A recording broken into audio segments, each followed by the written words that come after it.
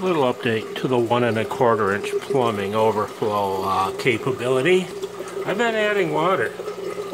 I'll pour a couple gallons in, pumps up top, this level drops, pour a couple more in, and each time it uh, it's settling out at its happy medium.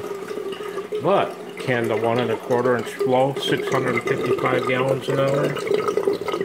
I say no, because the weir is swamped. Let me quiet this thing down, man. Hang on. Something wrong with me.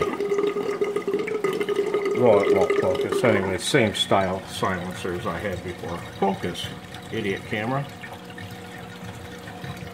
Ah, that's better. Anyway, water is riding up on those slots. Now it's about half an five eighths of an inch up from the bottom of the slots.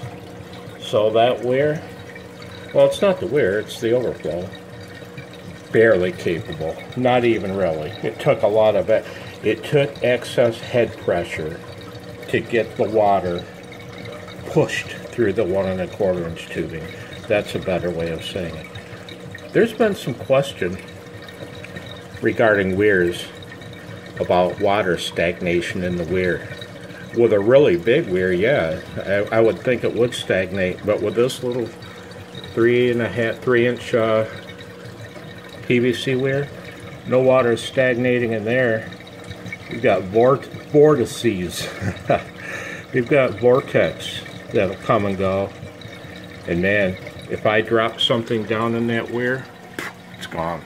It's down into the bottom filter lickety split. So anyway, can 655 gallons an hour flow through a one and a quarter inch Schedule 40 PVC Durso overflow? Nay, I say not.